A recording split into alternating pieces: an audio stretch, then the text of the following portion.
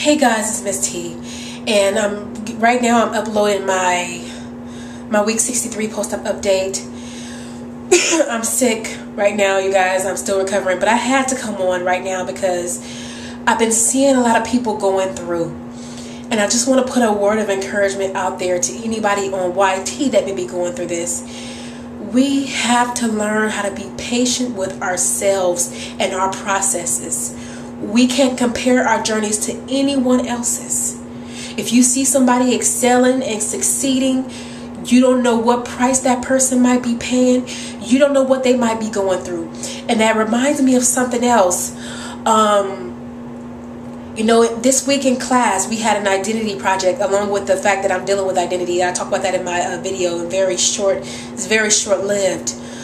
Um, but I didn't say in that video how you know, I feel a certain way and I feel more comfortable in sweats and a t-shirt um, my well, workout clothes that are really, you know, tight fitting than I do in my regular clothing. You know, I guess it's all part of this process, but I don't want to veer off here. This, I'm not going to make this about me.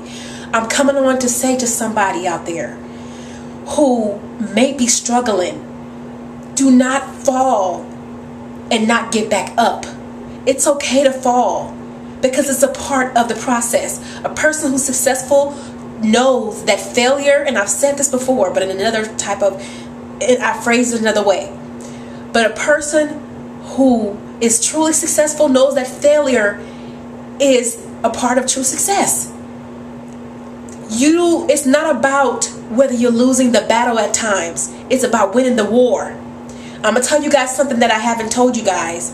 I was um, competing in a um, in a Biggest Loser competition myself, and I didn't share with anybody because it was my own thing. And I came in second place. And I, I, I, I didn't. I almost. I lost to a person. I'll say. I'll just say those words. I lost to a person that had a personal trainer.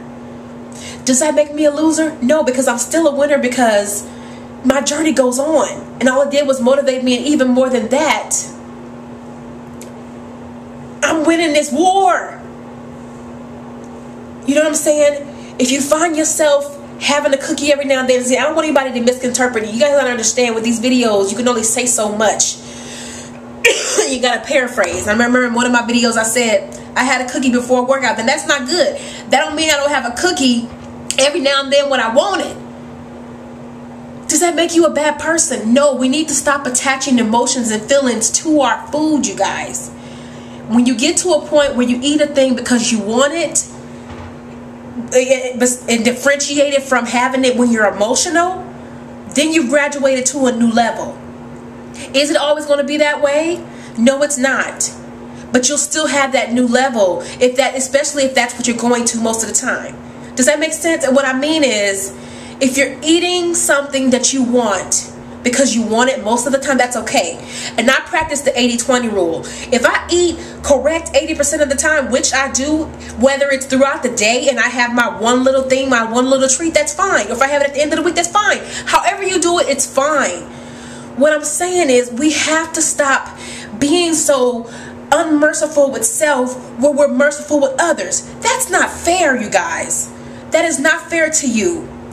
Stop being hard on you. Stop comparing yourself. Stop looking at these people on YouTube and thinking that they're doing everything perfect because they ain't. We're not. Miss T Lovely ain't, and I, have always said it since the beginning. I'm gonna keep it 100 with you guys. Yes, my journey is taking different. It's doing different things right now, and I'm having to figure some stuff out. Does that make it any less relevant? No, it's a process. You know what I'm saying? It's just a process. I'm with all that that I've said. I'm saying be patient with you because if you really listen to what I say when I say it, that this is for a lifetime. Lifetime. That means until you go on the glory or wherever you're going and you close your eyes. Please be patient with you because stress will make you gain. Amongst the other things, binge eating because you feel a certain way, and then being uh, even more sad about it, which leads into depression. Please don't do that to yourself. So I'm saying to you guys, to those of you in my group, to those of you on Facebook, to those of you on YT here, to Miss T Lovely, I'm, every message that I give is always going to be for me. for my heart first.